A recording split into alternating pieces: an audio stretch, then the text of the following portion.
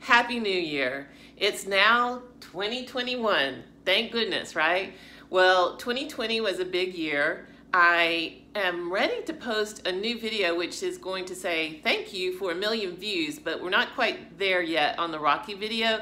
But when I do, I have um, some new exciting fitness news to share with you, the things that I've been doing working out from home with my daughter and how we're staying well and fit and just coping with being quarantined. As you know, I'm type 1 diabetic, my daughter has special needs, so we've been self-quarantining since last March.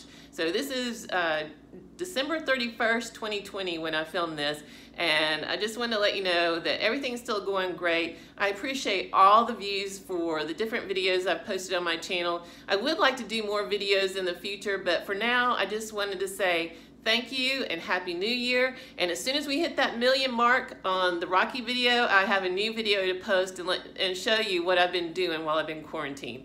In the meantime wishing you all much health and happiness and good luck and everything that you dream of. I mean i, I like doing the vision boards because it helps me just kind of generate positive things. 2020 even though it was such a terrible and tough year for so many i actually had a great year. So i'm very very thankful for that and I feel blessed and I'm just ready to share you know some positivity with the world. So um, thank you for watching this video. I look forward to seeing you again in the near future when we hit a million views. So take that video that's um, I'm gonna try to link it. I'll figure that out. And keep on watching it so we can get to the million views. But just thank you again and happy new year.